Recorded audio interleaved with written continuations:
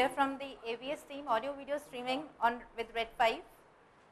This is the list of our team members. On the login module, Praveen Shah, Pooja Pandey, Utkarsha have worked. On the whiteboard and chat module, Nagasudha and Praveen Shah have worked. On the document and online users module, I myself Shivani Maheshwari. And on the video module, Nikita Gupta, Priya and Vishal have worked. We have worked, we worked towards the development of a web, of a web e-distance learning tool which makes you, uh, which is a substitute for the proprietary tool AView developed at the Amrita University. The AView makes use of the FMS server for media streaming, whereas where, whereas we make use of the Red 5 server, which is an open source server. The hardware requirements for our uh, application include an external web camera, an external microphone, headphones, and this take note, which is an additional optional feature that we can use. For software requirements include a Red 5 server, Flash Builder, Flash Player, Apache, MySQL, PHP, SWF tools, and Flex Paper. The languages which support our application include Java, Flex, ActionScript, and PHP. The login module. The user submits his username and password. It goes to the web server for authentication. Based upon the type of user, whether he's admin, student, or teacher, he is redirected to his own homepage. This is the, how the user uh, interface looks like at the time of login. The admin home. Admin has the functionality of course registration, user registration, my profile. The features include add, update, delete, search for courses as well as for the user because the admin is the sole person who has the right to modify, create or delete any of the accounts or course. Means no other user can uh, sign up on his own. In order to sign up, the admin should sign him up and uh, provide him with a valid password so that he can log in and uh, after login he can change his own password. This is how the user registration page for admin looks like. On clicking on this show all user buttons, uh, show all user button, it shows all the users registered for uh, all the users registered for attending any of the classes, uh, any of the class which will go on. Uh, by add, update and delete and search user, he can search the user information. Show all register on clicking on any of the user and clicking the uh, show all register courses, it will show the registered courses for particular user. The teacher home, the teacher has following functionality available for him. The public chat, whiteboard module, my profile, document and teacher video. The important thing to be noticed here is that the whiteboard and document. The teacher has full access to whiteboard and document means he can edit or change any of thing on this and the same will be reflected on the student end means all the students those who are connected to that particular course will be able to view whatever te teacher has done. This is how the teacher page looks like. The student home. The student also has the facility to do the text chat same as the teacher which is the public one and he has a facility to raise hand means in case the student faces any doubt during the session he can just click on the raise hand button and that will raise his hand up indicating which acts as an indicator for the teacher that the student has a doubt. The teacher can select that particular student, the stream and answer his doubt. The document viewer whiteboard module is the same one which is shared from the teacher end but the thing to be noticed is that the teacher will change the uh, things on these will be reflected on the student side but the student's changes will not be reflected anywhere then he can view or watch the teacher's video whatever lecture is going on this is how the student home looks like and he can select any of the courses and attend that class. The whiteboard module. The, as I told you earlier, the teacher has a full control to the whiteboard. The uh, he whatever uh, he or she writes on the whiteboard, the query is uh, uh transferred to the media uh, streaming server, uh, and by the help of the shared objects, the same is reflected on the student end, and all the students have a single channel access to the whiteboard. This is how the whiteboard looks like with the following button of clear, save, pen, line, circle, rectangle, round rectangle, ellipse and all. and the teacher can draw anything on it. It acts as a white canvas for painting. The online users. The online users, this is uh, what I was telling about the uh, hand raise. This is uh, for the teacher side. Similarly, on the student side, he has a hand raise and hand drop option and the teacher has access stream and stop stream. See, like here Priya has a doubt. Uh, she has raised her hand. So the teacher can access the stream of, uh, just click on it, access the stream of Priya and can view uh, Priya's video and answer whatever doubt Priya has. The chat module, this is uh, the uh, public chat which is available to all the uh, users who have been registered to that course and all can enter into this chat but this chat is uh, public to only the users who are in that particular course. No no other user in the other course will be able to view this chat the document module which makes use of a flex paper which is like a pdf viewer and uh, the important or uh, we can say the uh, main feature of it is that it loads the swf files not the pdfs directly so in order uh, when the teacher uh, the teacher will only be able to upload the uh, pdf files uh, by making use of a filter we have made this facility. So uh, when the teacher uploads a pdf file at the time of upload the pdf will get converted to swf by making use of swf tools both these swf tool and flex paper are open source so uh, the teacher will upload a pdf which will get converted to swf on the fly or at the time of upload and uh, this SWF will be loaded onto the flex paper. So the teacher can use the document for teaching uh, whatever he wants to teach. This is how actually the uh, document viewer looks like at the teacher end. This upload PDF, uh, on clicking on this, this will show the files on the file system of the teacher. He uh, Only the PDFs, uh, so he can up, he or she can upload the PDF. That combo box shows the uploaded PDF by that teacher Clicking on that on the load PDF will load the uh, corresponding SWF of the PDF in this flex paper. The video module, which is the live streaming of the video, the teacher can publish his or her stream and start the session. All the student access that published stream of teacher uh, to um, to attend the class. And uh, beside the teacher can answer the doubt uh, raised by any of the student by accessing his or her stream. And the student can see the self video as well. See, the uh, below one shows uh, the teacher video. Above, above one is the student video, which the student is able to see. And uh, this is uh, this single panel at the side is for the self video. Anyone can view his or her self video. For future works, we can enhance the whiteboard module, making use of more flexible designs and uh, making use of highlighters. And uh, for the document viewer uh, we can make use of any tool which via which the teacher can upload any sort of file which gets converted to pdf then to swf then uh, for the text chat we can make use of rich text uh, profile pictures uh, of that particular user and smileys. And the most important part which we were we wanted but due to time constraint we were not able to do was encoding video encoding and audio encoding then session recording feature can also be added and performance testing obviously. These are the references. We have mainly referred to AView and uh, the other open source tools which were through uh, made on this concept. Thank you. Good morning all. Now we will be giving a demo of the our project. We, uh, one of the teacher is here, one student is here, there is one more student Priya, one student is there, okay, there is one student over The classes from here and students will be accessing the video of. Okay. What you can see is the classroom page for teacher. This is the classroom page.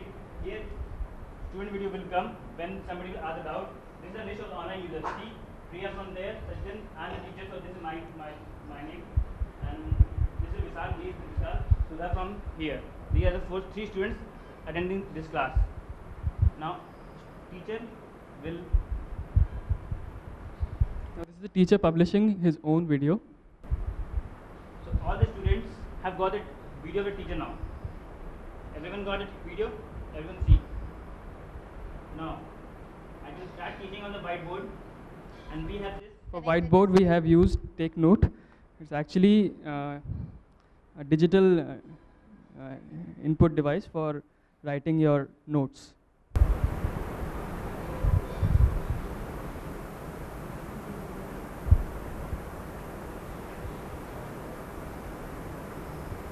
This is the whiteboard being used by teacher and this is visible on all the students, to all students. Now, if some any of the student has a query, he can raise or he can raise their hand, and Exact- then I'll be notified here that somebody has raised their hand. So please, someone, if you, anyone help any doubt. So many types. Here, all of them have raised the hand. I'll select Sudha. I'm selecting Sudha. to service. She's given the option to access her camera. So here comes Sudha on my video, student video. I can see her. Now she can ask her doubt, and everyone, uh, uh, every other student also is able to see her video. You can see in there. Direct con- conversation between the student. Tab. There is one tab. ask video. Check to the tab. So that the, conversation between the student and the teachers uh, is uh, available to every person.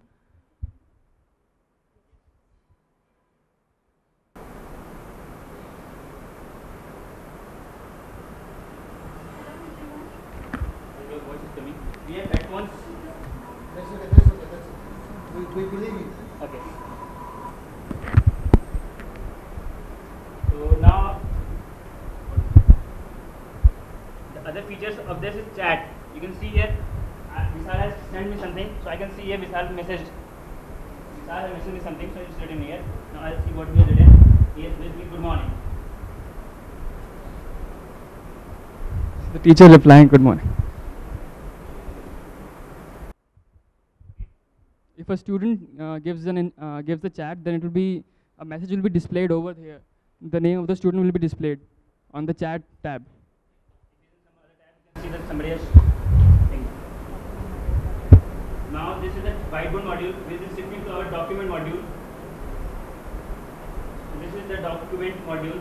This is flex paper, which we explained, in which we can upload PDF, which will be converted to SWF, and which will finally load in this flex paper. First of all, I'll show you. This is these are the already uploaded files. I'll select any one of those and load it.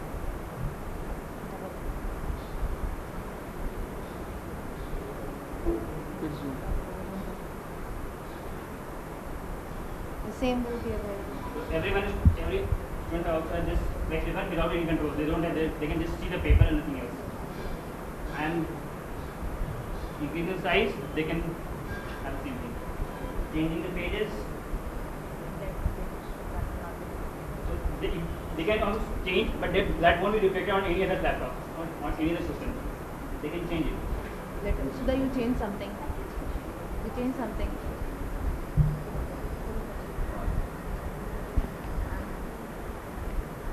Functionality like these.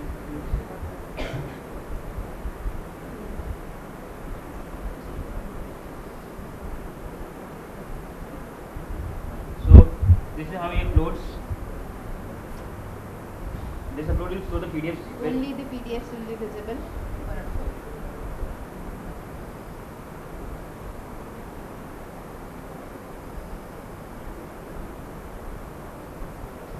Now.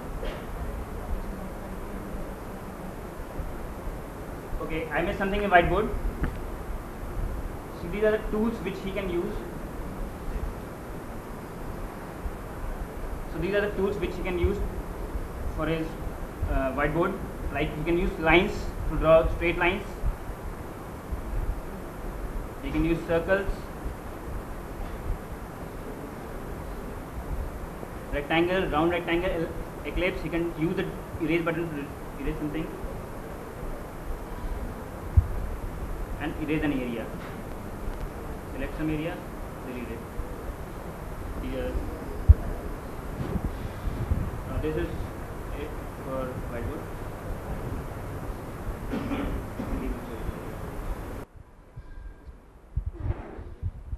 On the admin page, uh, we have uh, all these buttons, My Profile, where the user can see his profile. Here, uh, the username is admin, first name Shivani Maheshwari, registered as an admin, and all the contact details. Here we have given an, uh, uh, an option to change the password. That is minor, skip that. That is Okay. not relevant for the whole thing. Okay. Login, password, etc. are all assumed to be there. and uh, then the uh, admin can register a course.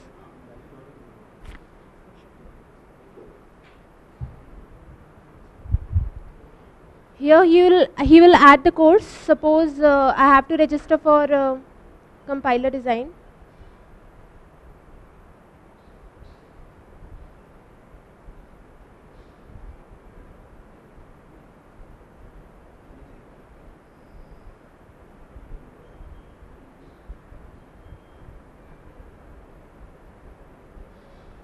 As we click on confirm, the data that will be update, added, that will be shown in the grid. We can click and update.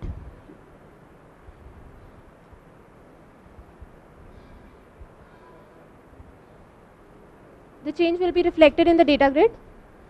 We can also delete this course uh, by uh, selecting the uh, uh, field and then uh, clicking delete course. Here we have uh, added a button to show all the courses that have been registered.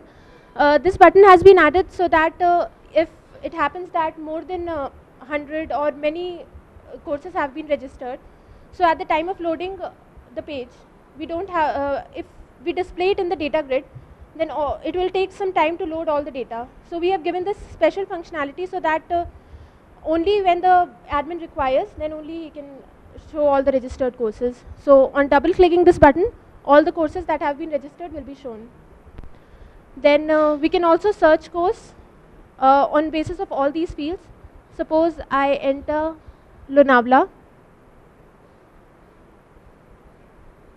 and confirm, then the course that has been registered with the venue Lonavala will be displayed. We have also added these three buttons, uh, like on clicking for the course and registering member, and if we enter the username, like um, here, because the user has not been registered in the database, so it will ask for the details.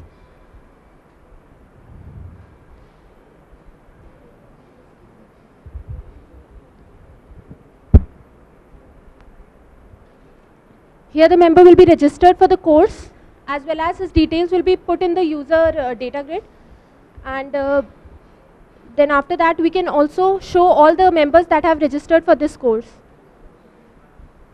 All these users have registered for this course and suppose we have to deregister a member then we'll click show registered members. This member will be deleted from the course then after that we have we can uh, the admin can al- is also supposed to register the users so the same add user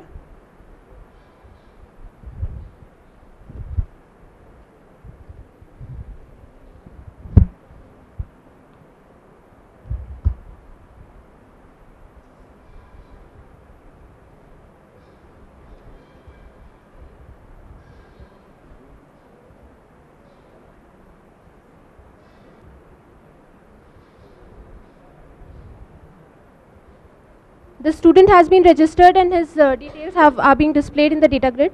We can similarly add update and delete the user. We can search users on the basis of these fields. Suppose all the admins have to be displayed then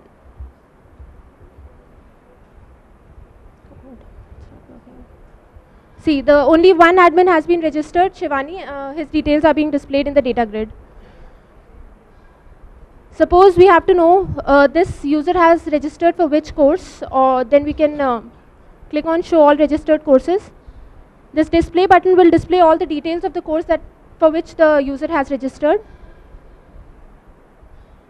Suppose this user has to deregister a course, we can select display and then deregister.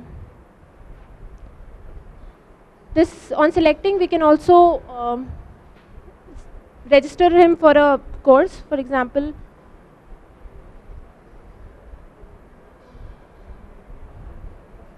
on clicking register because the member has already registered for this uh, course so only the notification has been displayed already registered thank you So Sajjan is here, and is Sahu? Ah. So let me confess something. when this project was to be included in the internship program, I had a very limited objective.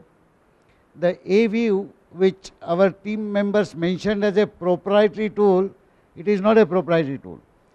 It was intended to be an open source tool, but because they could not use a open source video streaming server, that tool became proprietary. That tool incidentally is available at no cost, at no license fees for every educational endeavor in engineering education in the country.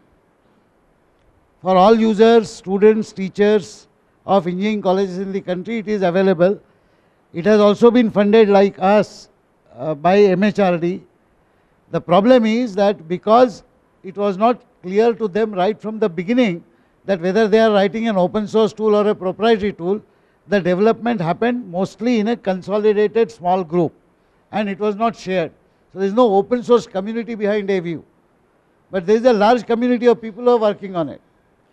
It is about a year ago when we started experimenting with that tool. We were earlier using tools which came along with uh, whatever uh, you call the, the uh, satellite links that we had obtained from, whatever was the proprietary application, that is what we, are, we were using at that time. So when this tool came in the early stage of development, we decided to adopt it. And as we speak today, that is what is being used in all our courses. Okay. The original idea was to make A-View open source. And it is with this intention that we initiated some early activity last year and a full-fledged MTech project, which Satya Sahu is doing.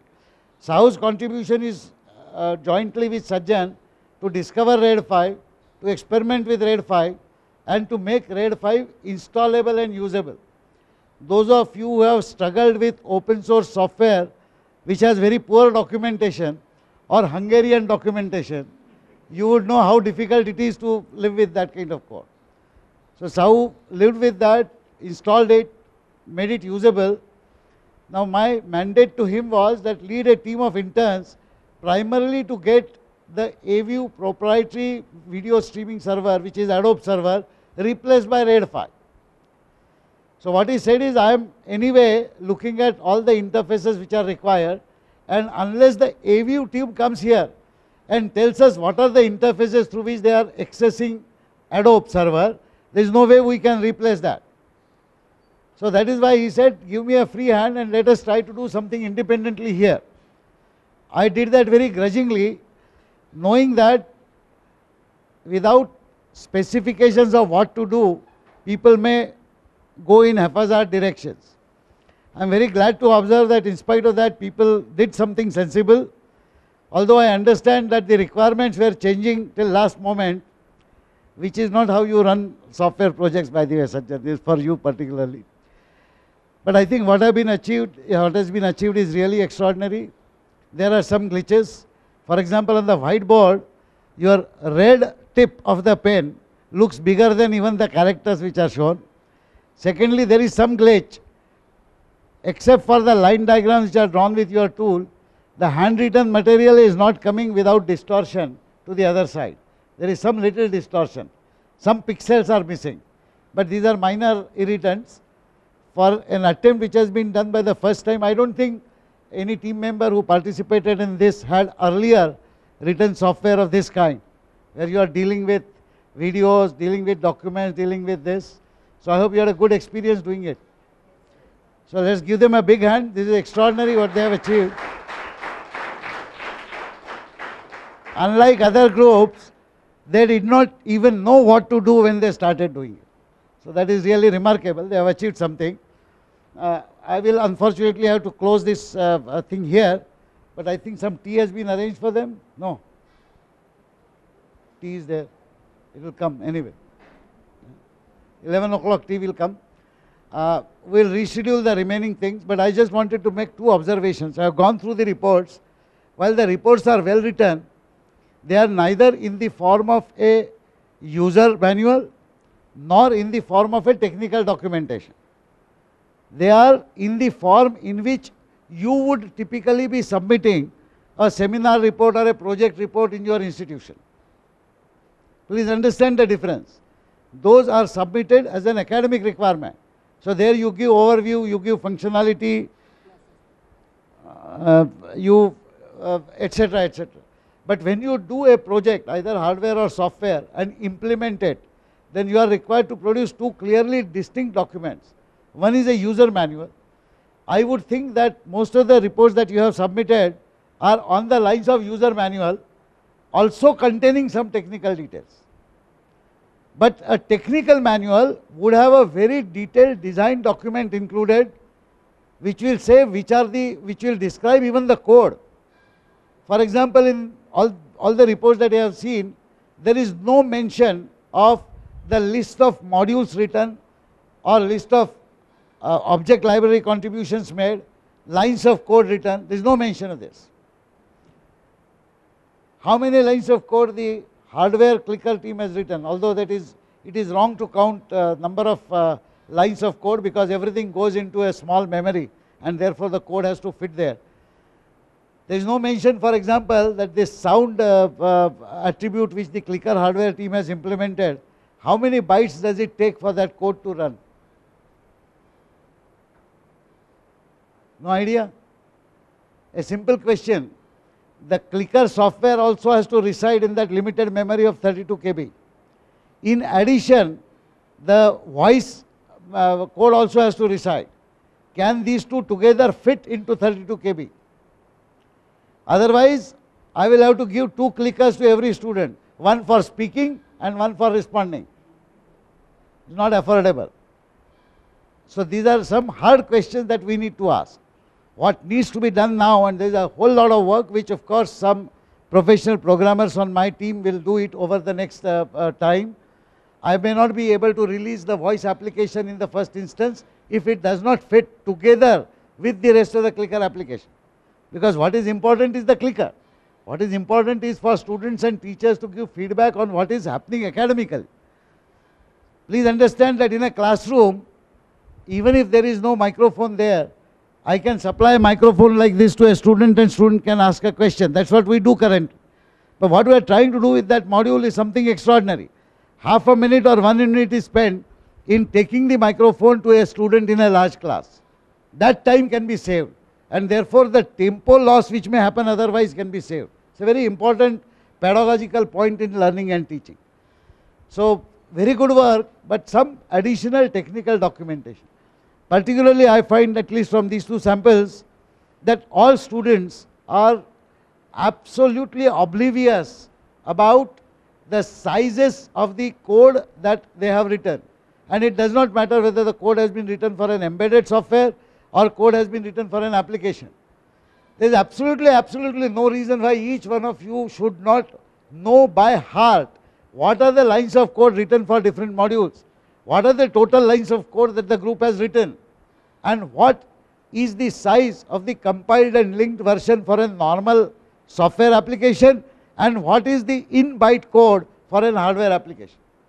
These are absolutely crucial quantitative components which must be known because these decide whether ultimately you will be able to use that software meaningfully or not, particularly for embedded systems.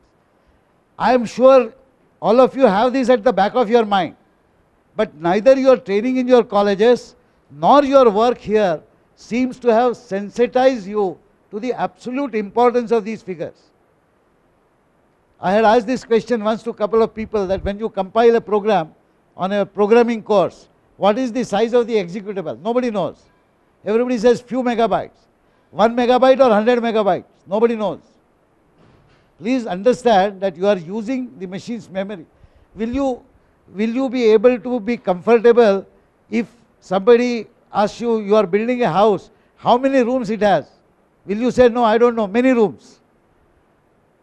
Or how many people are staying in your house? I don't know, perhaps five. Will you answer like that? Just as the number of people and number of rooms in a house are important to you, they are vital to you. They define the way your house and your family operates. In exactly the same way, the code that you write, the data that you use, and how it sits in the bytes available is equally important. So please make a note of it and I would like two or three or four pages added to the reports which have been submitted and similar pages to be added to other reports which will clearly state how many modules have been written. In fact, the technical documentation should say what is the brief functionality of each module, what is the design architecture of the whole system. If you can do that, well and good. You have only one or two days, meaning 8 or 10 hours to do that. I would suggest you do that first. Writing proper technical documentation is important. So I'll ask you this question. You now read your own report as if you have come here next year to do a follow-up project on this. You do not know absolutely anything about what has happened. And from this project you have to start. It does not even say which is the CD labeled such and such, which contains all my code, and uh, with which staff member of Professor Phatak that CD is to be found. It does not state that. What it tells me is that you have no intentions of cutting such a CD, labeling it properly and submitting it before you depart.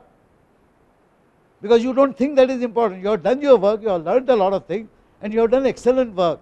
For you, that is the end of the game. That is not so. In real life, there has to be a continuity of the projects that you do. Don't forget you are able to do something not because previous students of the last internship program documented something well, but because I had my team here in each of the cases to tell you what exactly was happening. Everywhere you will not have such a facility. Is that agreeable? So excellent work. I am very happy with these two projects. I think what has been done is even beyond what I had imagined. So my compliments once again. And uh, some of you are second year students, right? So that is, that is really good work. These presentations, I believe that they are useful to all, although you would not have worked on each and every project. But I hope you agree that when you go back, should be able to proudly say that while we were a team of 10 or 12 people working on this, we are actually part of a larger group of 70 interns who together did all of this. Okay? Thank you very much. And let's give them a big hand, really good work. I appreciate